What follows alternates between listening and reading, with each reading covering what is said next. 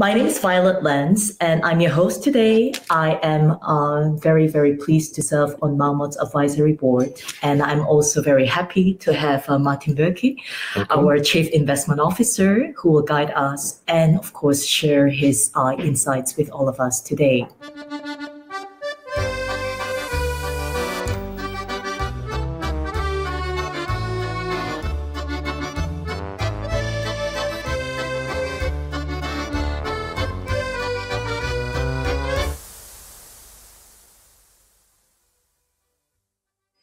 We have two topics to discuss. Um, number one being a live analysis of an actual portfolio, and number two, market outlook. If you have any questions or you know um, suggestions during this uh, call, please do not hesitate to just post them on the chat uh, because we would love this to be an interactive um, call with you so that we can learn from you and, and, and serve you best. And in light of serving you best, uh, we wanted to take a short poll of three questions to try to understand um, what are some of the things that's keeping you uh, awake at night and what is your starting position. So you have uh, probably on the right hand side uh, the poll. Um, first question, right? Um, um, or maybe the second by now. Um, we already have the first one, which some of you have already shared the answers with us about the biggest concerning related to personal finance. Um, the second one is what frustrates you when it comes to investing regarding your current portfolio. Could it be bad performance? Um, or maybe it's just too complex, right, in terms of the advice? Or you don't have any attention from your advisors, or the fees are just too high, or is, is intransparent, or it could be others. So please feel free to drop in your answers to that as well. Okay. So very good. Then let's also show the last question um, that we may have. How would you describe um, your knowledge about personal finances, um, whether it is um, fundamental, um, all the way to expert so that we can also try to tailor make our message for you to be of service today. Fantastic. There's a mix of uh, experts to you know fundamentals today with us, so that's exciting. Very good. So um, with that, um, thank you for sharing your views. Uh, we would like to then start with the first number one uh, topic of today, which is the live analysis of a portfolio. Um, we are sharing the screen with you now. Hopefully that is working on your side. And I think before we really begin, um, it's very important to understand who that person is and what the persona is all about. This is actually uh, an actual client of Marmot who came to us. We have, of course, disguised uh, her portfolio as well as, uh, you know, sort of the name. But this is sort of her story right? Anna is actually in her 40s. Um, she actually worked in an IT firm and was able to manage to save 500,000, you know, Swiss francs over the last 10 years. As her wealth grew, she also, you know, uh, realized that in view of her children, right, the two children, she also needed to have an holistic advice about her wealth management. Um, and but the problem that she was facing was first she went to a very large wealth manager performance was actually going fine in the very beginning, um, but nobody really had the time to explain to her what was happening in her portfolio, how were the stocks being chosen, what were they, you know, in conjunction with her values, um, and she really wanted to be involved. Uh, and with the lack of attention, she came to us to Marmot, and we were very glad to receive her and spend time with her to try to help her understand why and which you know um, stocks are chosen and whether they're aligned with her sustainable values. And she also wanted to be informed regularly about the market outlook uh, which we were able to serve her for. And so for this reason anna came to us and asked us uh, at the very beginning to analyze her portfolio and tell her how she should make some shifts and for that, I'm turning to our expert, Martin, uh, who will be able to go through some of the key points to look out for. Thank you, Martin. Thank you. I would actually start with a general comment before we look at the portfolio. You may ask yourself, I'm with one of the most famous, biggest banks, UBS, Credit Suisse, Goldman Sachs, Deutsche Bank, wherever. So they got so big because of a reason, because they are good. So why should uh, they recommend me products or things that are not in line with my interest? And therefore, I think it's very important to understand what is the business model of a bank. The issue is that a bank is only earning money if you have if you're invested. They only in, earn money from products or from services for if you trade, if you buy and sell a share, they can influence you to buy and sell more often. That gives them profit. Or they can sell you structured products, mutual funds, things like that. And then they earn money. If you only hold your account cash, everything on the account, they don't earn anything. And that is a bit the base problem of the bank that they have incentives to sell you products with a high fee that they earn a lot, but that's bad for you. So the alignment of interest is not always given. And most of the scandals you have in the press, uh, it's based on that business model that they force clients in hedge funds that go collapse, that they manipulate some uh, exchange rates, whatever. Um, all is mainly based on that. I have in contrast the business model of Marmot, and actually it's the business of model of most independent asset managers. They only earn money from the money they manage. So they have a management fee they get per year, and they don't get any income from the product or from trading. And based on that, it's a fully alignment of interest of Marmot with your entrance. And with the banks, you don't always have that. And with the example we go in now, I can show you some uh, insights you can see in a portfolio and what can happen if a portfolio is mainly constructed that the asset manager is earning money and not you as a client. So we have here a live uh, portfolio of uh, the client who came to us. Um, it's just uh, to show you in general how such a statement looks like. You have it by your own. You have some nice charts and you have a list of all the stocks, funds, everything that is in. But actually don't see a lot. You don't see a lot of the structure, how the portfolio is positioned. Now, when we analyze a portfolio, this is a bit the structure. Um, we analyze it, and for each of the points you see here now, we will have a slide where we can see in the actual portfolio how this is about. So the most key point, of course, is risk, the risk assessment of the portfolio. And there are two parts of risk. It's the absolute risk. So it's mainly how much are you invested in equities, bonds, and cash.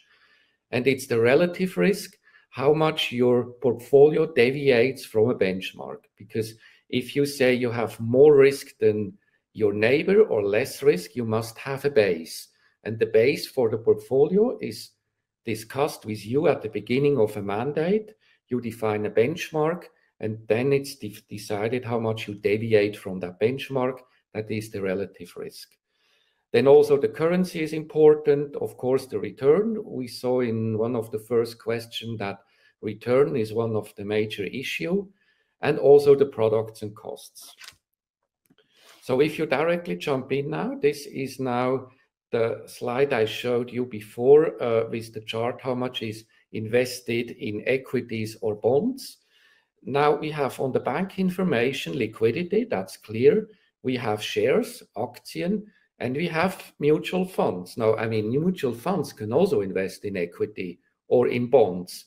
So actually, this picture is quite, doesn't mean a lot. You don't know how you're positioned because this uh, fund position, you don't know where it is. We have on the other side the um, system we have from uh, Morningstar, a very sophisticated system, uh, also used by institutional clients and pension funds. Um, that really shows you how you're positioned. So you have 88% in equities and the rest is in cash because also some of the mutual funds, they hold some cash. So that is first important to see how you're actually positioned. Um, when we talk to clients, then we start not with the return, we start with the goals. So we ask, what is your goal? What you want to reach in your life? And depending on that, we define together with you the uh, risk of the portfolio. So we don't start just with the return, 5%, 6%, 7%. We start with the goals, and the return and structure comes afterwards.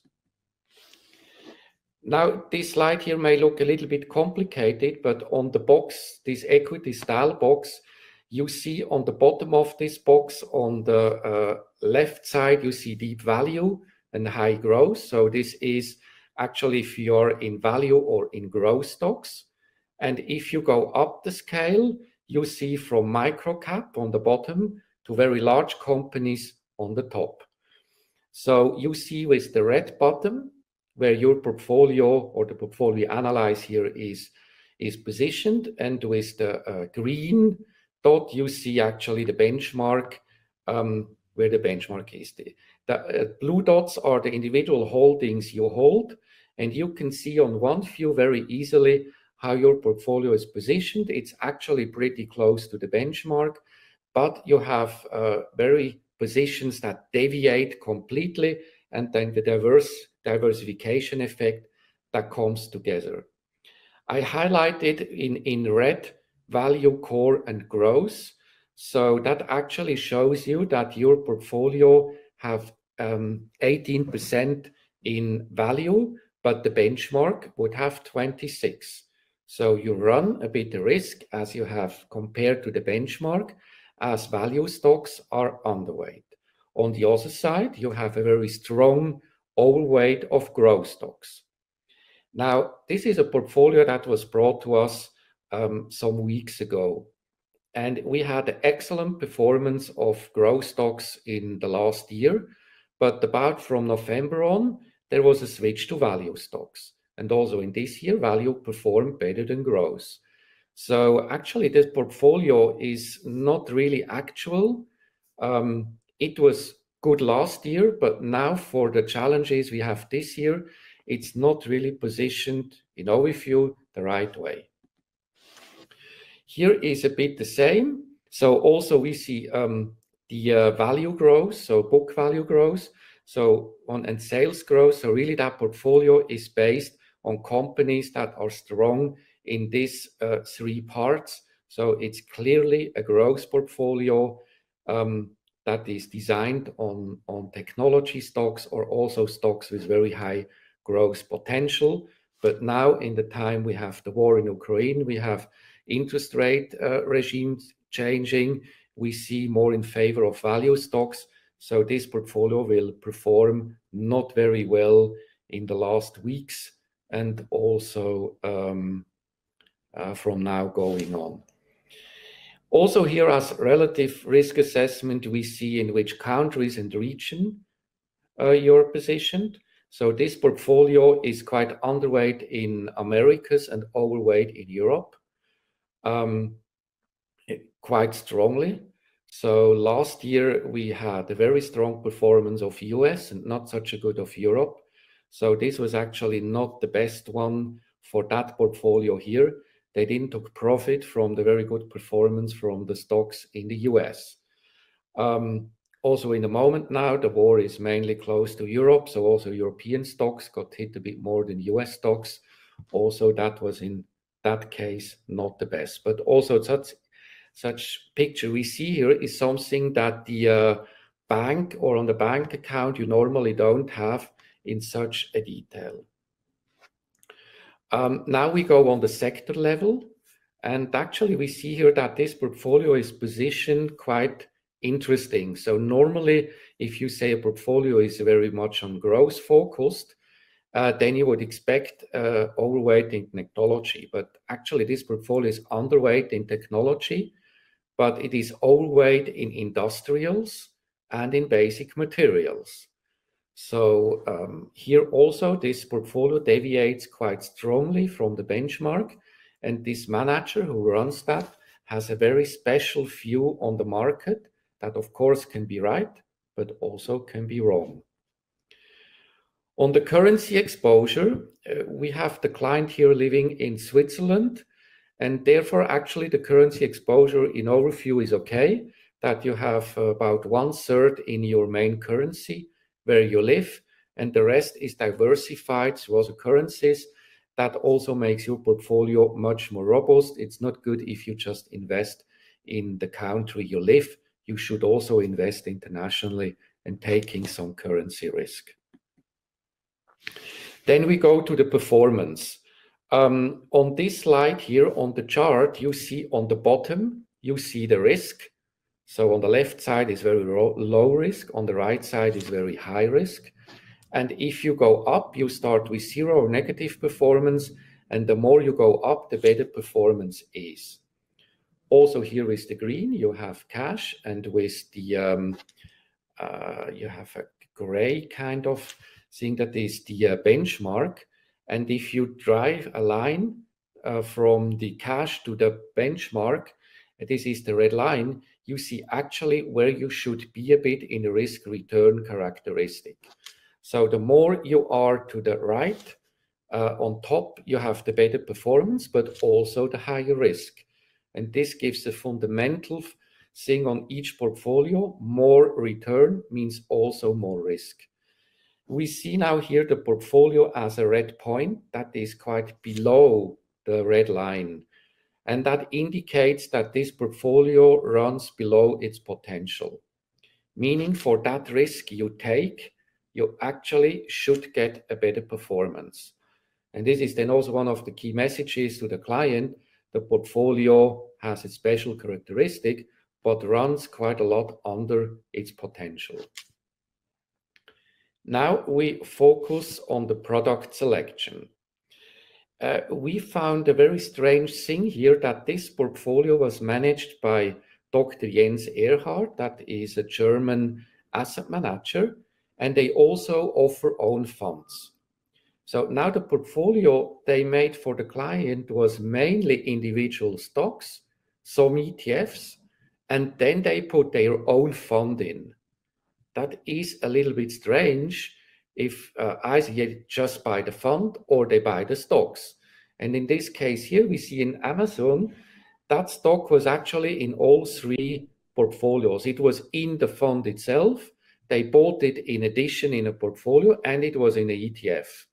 And this is quite a strange setup, um, that you put the own mutual fund in, in a portfolio of yourself, of a portfolio you manage. The problem is, if you do that, that you actually charge the client twice. And we have on the next slide, a cost analysis. If you buy a mutual funds, there is not just one share class. They have a lot of share classes for different investors.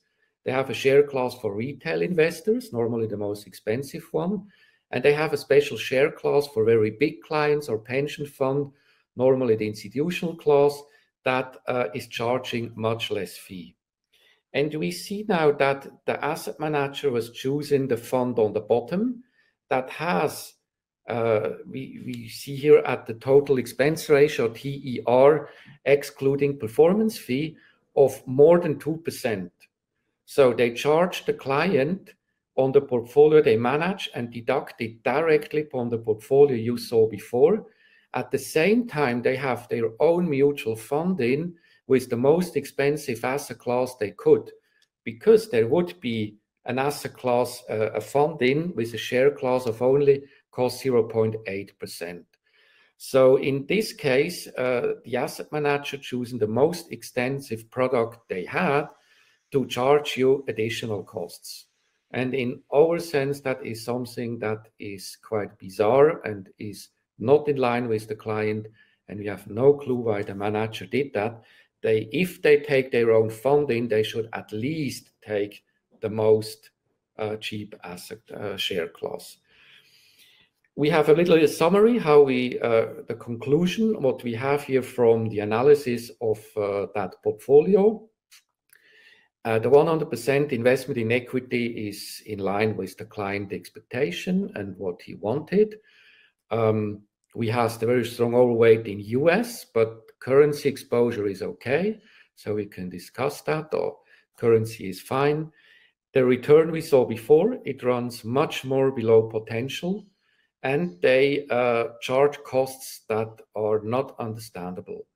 So we actually recommend here to the client to change a mandate, to switch it to another provider that is more fair from the cost side and could deliver a better performance. Thank you, Martin.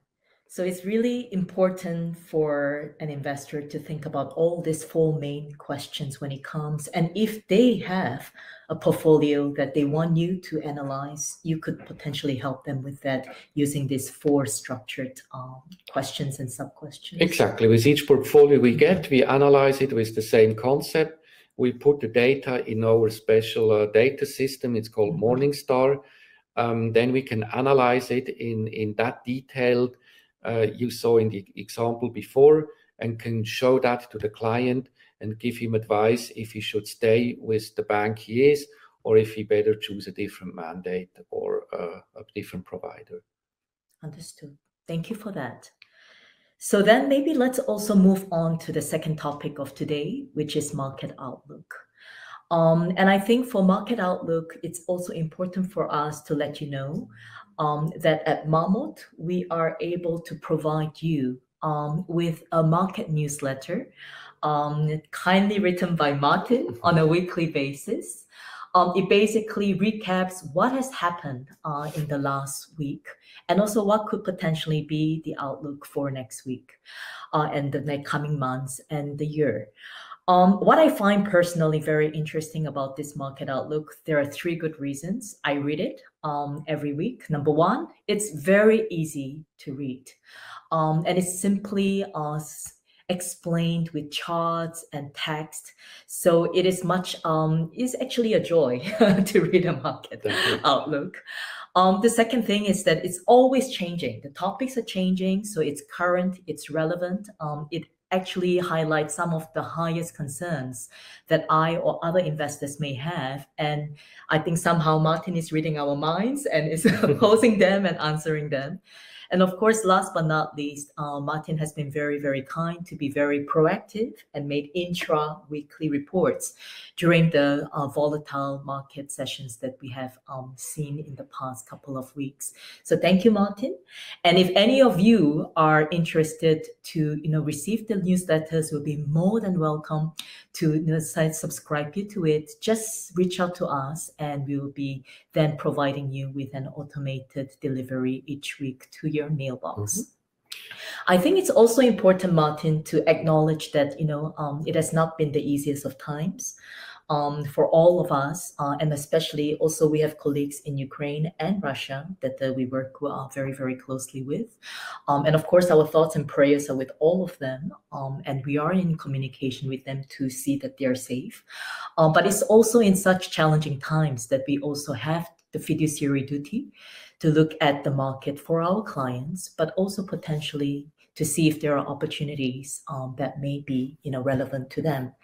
And so, with that in mind, I think that it's worthwhile. We have already received a few questions from some of the, you know, clearly the poll has shown, right, that uh, there are interests of the of our our participants, our dearest participants today. And so, let's really try to answer the one. I think the first one is inflation. That seems to be the highest thing on people's minds.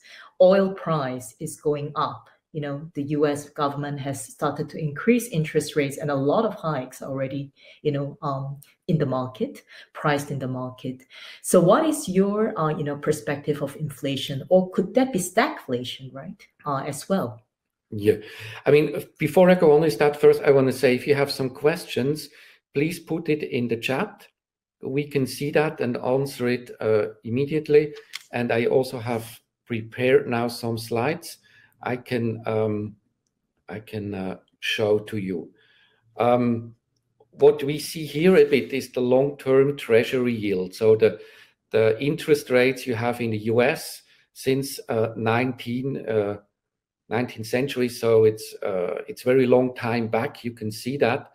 And we actually see that since about 1990, 85, we only have rising interest rates. Inflation went down, inflation was not a problem, and the interest rates went down and down. So for an investor who invested in bonds, it was actually a very good time because you always have interest rates and you make capital gains on your bonds. But now it seems to change. We have high inflation figure and the central bank in the US already decided to put up the uh, interest rates to hike them. And um, we think that also in Europe, something similar will happen. We actually see on this table here that 100% of the market participants already now expecting up to five hikes in interest rates in the US um, until the mid of 23. And the majority is actually calculating with nine hikes. So that will bring, if you go back to the uh, slide here, that would easily bring up the interest rates to 4 to 5% or 6%. So actually we see here that this trend line is broken.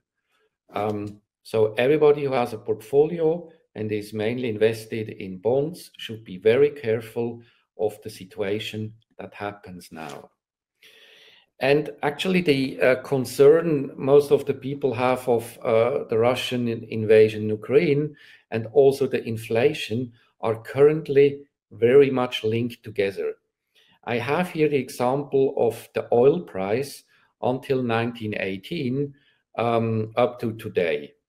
And you can actually see that uh, when the COVID crisis started, the uh, oil price dropped 70% because everybody feared that now the industry is stopping and nobody is consuming.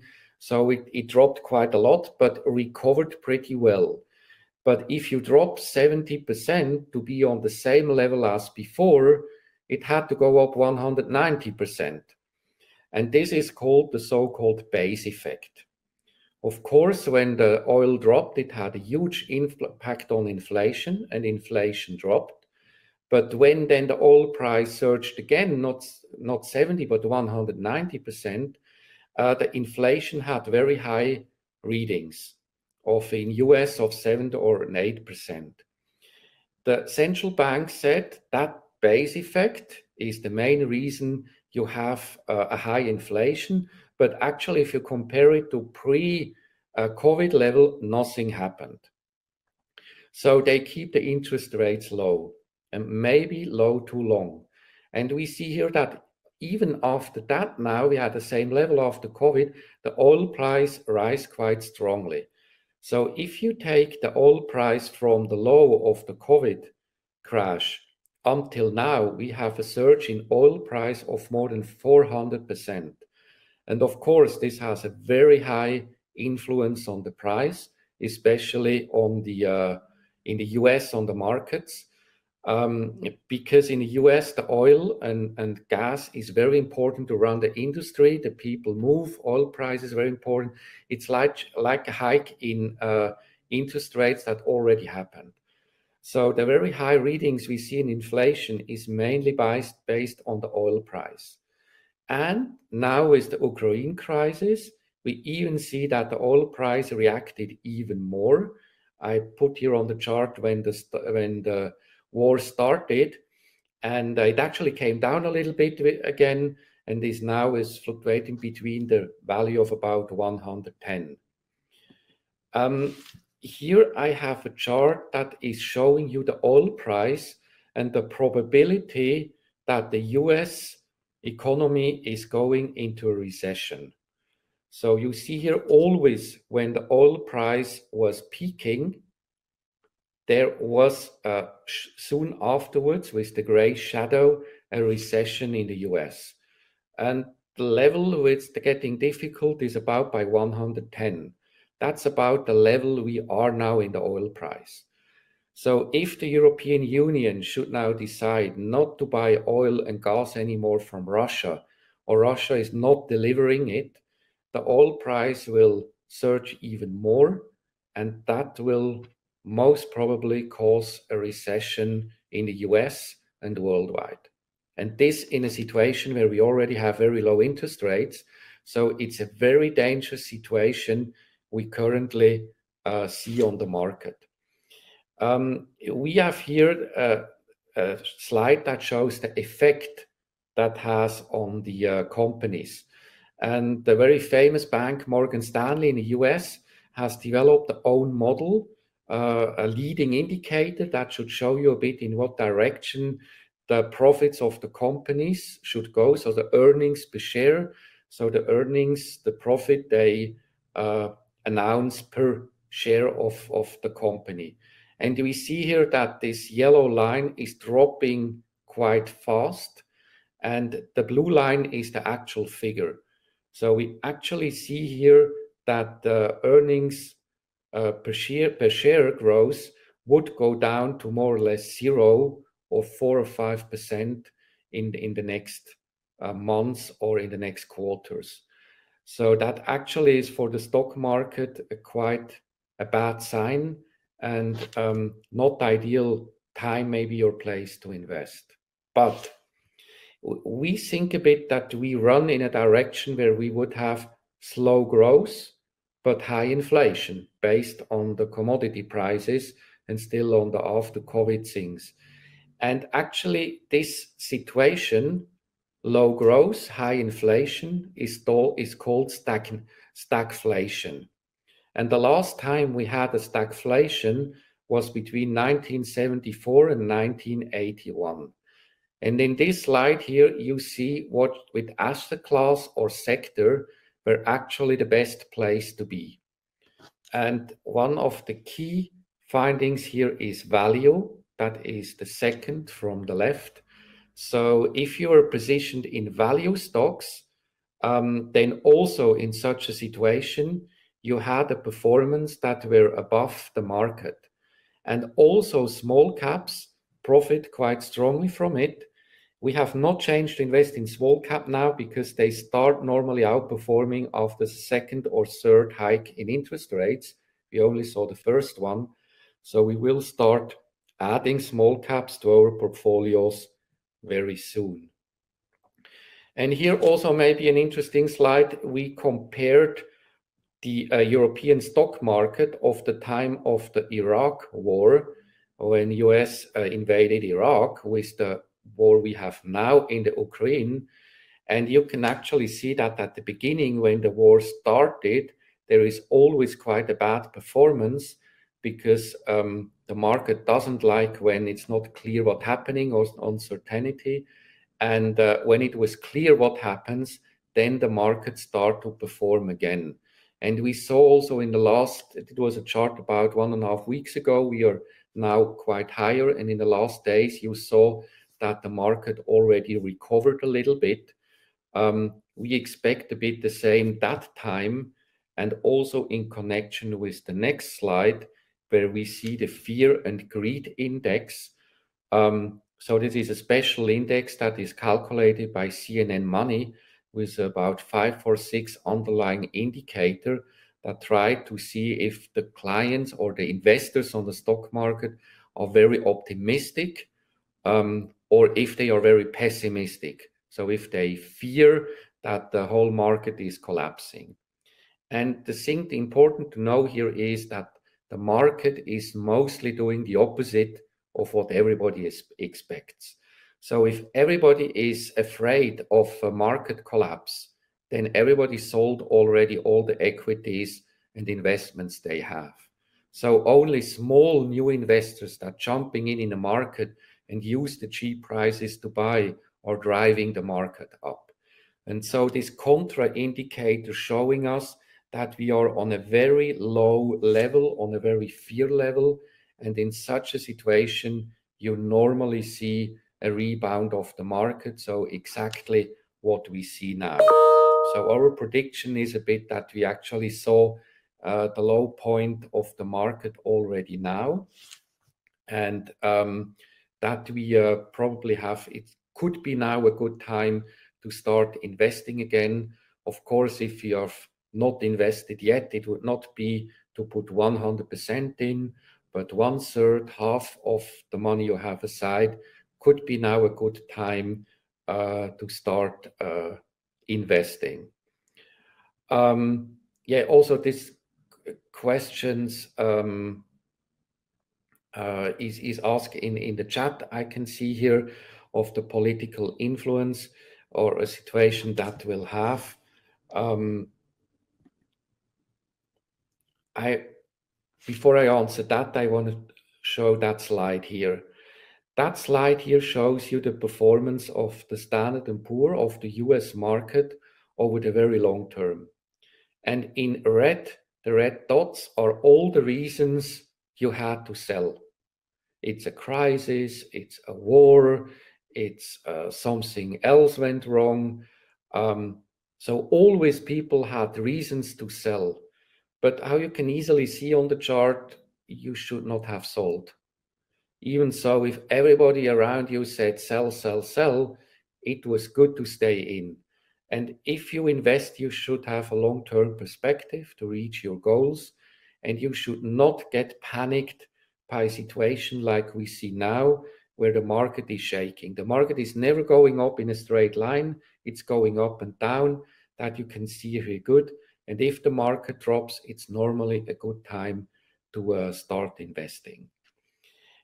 Maybe to come back on the uh, question in the chat, also on, on the general influence of the uh, Ukraine crisis. The thing is a bit what we see here is not a normal crisis. We call that in, in financial industry a black swan. It is uh, based on a book of Nicholas Taleb, um, who actually uh, talked about situations where something happens that nobody had in consideration. So even if you make a risk analysis of the portfolio, nobody thought it could happen. And black swan is it called because for hundreds of years, thousands of years, it only existed white swans. And then uh, a traveler went to Australia and first time saw a black swan. And from that time on, it had white and black swans, but before it only had whites. So it is the expression for a risk that nobody expected and were out of everybody's mind. And we see that a bit here to have a conventional war, more or less in the middle of Europe, is not something anybody had into consideration. And so it was clear that at the start, the uh, stock markets and the markets reacted panically. But now, when this risk is in the market, priced in the prices, already we see a recovering of the situation now. So uh, this was a bit in general, a bit how we see the market and the current situation. So of course, uh, you're very uh, happy if we ask uh, more questions. Um, we also have the uh, question who you can uh, call later on. I think anybody of us, if you go on the mail where you was the invitation for this talk, you see a number on the mail. You can call this number and you can reach us anytime you want. Great. Thank you, Martin, for that. Um, but maybe if I may pose a question to you, because sure. you showed us the fantastic, uh, you know, chart of reasons to sell. Um, but there was also a concern in the poll of the, you know, our participants today with a potential high valuation as well. So um, how can we ensure, right? Or are we at high valuation, number one, today? And number two, how can we enter um, if, it's, if we are in that situation? You always have to see a bit in, in, in the details of, of the structure of the market. So the overall market may be overpriced, and uh, but if you look a bit how the index and the benchmark is constructed, you currently have an extremely strong overweight of technology stocks in the US stock market, uh, in the benchmark. So um, you have a very high valuation still of a lot of technology stocks, but you have a very low valuation in a lot of value stocks. Nobody in the last years wanted to buy value. Also, with the pandemic, this growth and the internet stock got a very strong boost. And actually, we saw an outperformance of growth comparing to value since about 10 years. So that is a very unusual situation because in each statistic you go back over a long term, value was always better than growth. and this time we had an underperformance of value since more than 10 years. So based on what we discussed before and the change of interest rates, we expect now a recovery of value, and you find quite a lot of good value stocks, solid companies that still have a decent valuation. But you should be very careful with, um, we call them non-profitable stocks in general. It's even Goldman Sachs is calculating an index on that. There were a lot of internet uh, and technology stocks that came new on the stock market, and since they are traded, they never made a profit. So they have to finance all their business uh, with credits. Um, and this costs now more as the interest rates goes up, so they have less and less time that their business model works. So there are companies like Slack, like uh, also Uber, and a lot of companies of names you know are in that situation. So such companies, you should be very careful, but company like Coca-Cola, Nestlé, typical value companies, they have still a valuation that are still quite reasonable. And also, if we go on with this projection we have as a stagflation, you also saw that value companies are the place to be. So you have lower valuation, and you have a better safety in case of this uh, stagflation scenario. And how about bonds, Martin? I mean, should we be investing in bonds considering the potential rate hikes that are already priced in, but coming for sure? What is your view on that? On the bond side, we are very careful. Um, when we really think that interest rates are rising quite substantially, also in Europe, then uh, to buy a normal bond is not the right thing. You have special cases, like sometimes in high-yield bonds or in certain sectors, where bonds can be a good value, but uh, we actually recommend to our clients to keep the bond position as low as possible. We invest sometimes in absolute return strategies, so this is a possibility you have. Understood. We have a next question coming in. Um, do you consider the gender lens when investing? Uh, we do that on on two occasions. Um, as you may know, our key investment philosophy is not to buy individual equities and stock. We buy the best investment talents that we can find on the market. We just think we cannot say here if a Samsung or an Apple is the better company, but if Warren Buffett, one of the richest man of the planet, wants to know that, he gives the call to the company and have a lunch with the CEO of both companies the next week. And such a sophisticated investor with a lot of money in the bank, he has much better information, and we invest in line with these investment talents. And you can get these talents and invest with them with investment funds. So normally, the big investors and the good one, they offer investment funds, and we choose these investment talents. So we try to focus here also to give focus on female investment talents. We have a special portfolio that only or mainly invest in female investment talents, so you have your money then directly invested by women. And we also invest in some strategies um, that uh, focus on companies where you have a mixed board uh, from the gender side, so or also have a female CEO or a mixed uh, gender lens. But in my eyes, it's important is that compares us to a lot of competitors, we are not investing just in that.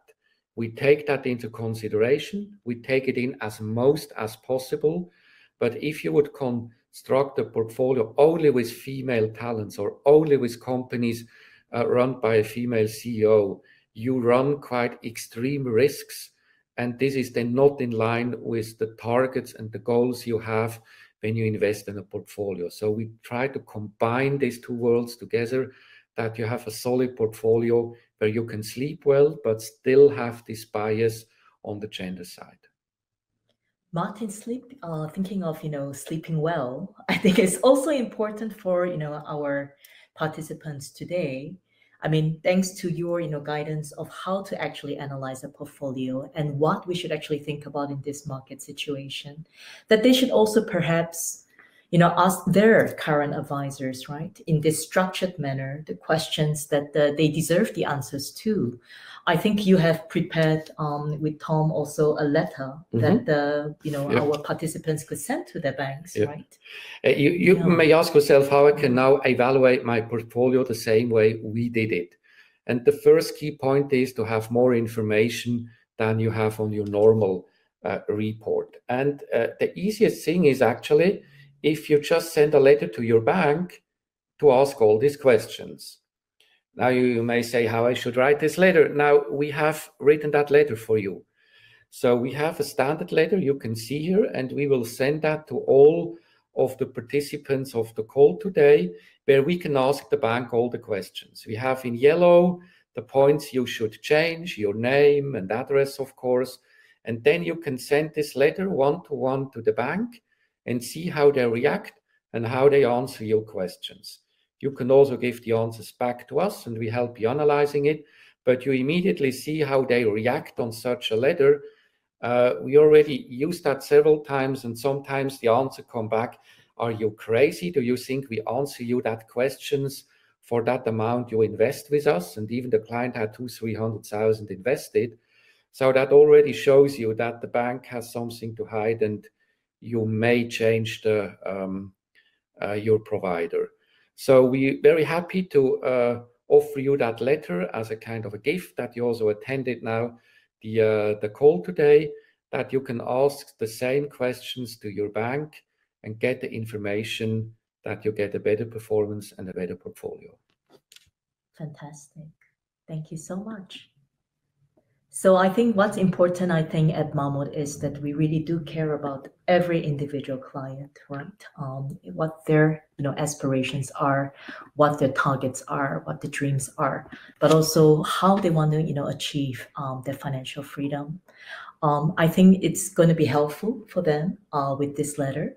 And of course, uh, Martin, as you have mentioned, if they have any questions concerning the letter or on the portfolio that they have today, they simply you know, should not hesitate to contact us. Also to receive the newsletter, um, which is also another gift uh, from, from Marmot.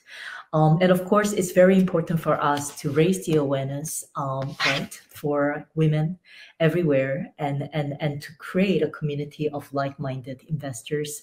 Um, and so we can only thank you so much um, for your precious time and also Martin for your great Thank insights. You. And um, I think it's just a very beginning uh, of a series of webinars that we hope to organize, uh, hopefully now also potentially in-house events, considering the situations, of course, that could change. And we would like to once again thank you, sending you lots of greetings, warm greetings from the Marmot family to you all, and wishing you a very, very great start to the week. Thank you for your time. And thank you also from my side. I really hope we can make such a session once live and see you physically in our rooms. And uh, then really also that we can um, connect with each other and, and start growing with each other. Thank you. Thank you very much. Bye.